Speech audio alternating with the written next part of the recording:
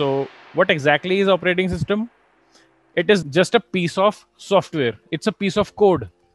It is written in such a way that it can communicate with the computer hardware and software resources. Okay. So basically, your operating system can talk to your CPU, it can talk to the motherboard, it can talk to the RAM. Okay you know in your laptop you will see you have 1 tb of hard disk but 4 gb of ram. Why? Why such a difference? Why can't there be 1 tb of ram as well as 1 tb of hard disk? Because ram is expensive okay? Everyone cannot afford. Yes big companies can afford 5 tb of ram 10 tb of ram. They have resources they have they can you know spend a lot of money. But you know we as a consumer we cannot afford that much of hardware resources. So that's why what uh, the system you know the complete computer or the this machine is designed in a way that you can use a less ram and you know the storage can be can go up to terabytes or petabytes.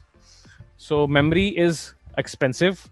That's why the operating system software should be you know good enough to manage the uh, running programs in a limited available memory. You know in your phones there used to be 1 GB of RAM, 2 GB of RAM, and you are using a phone for playing games, for multitasking, for taking videos and pictures, right?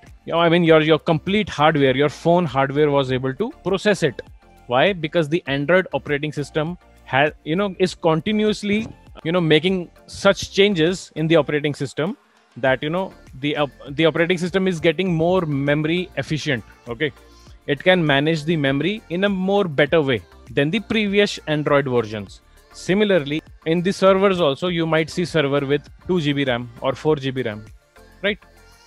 If if the memory management is good multitasking management is also equally good right?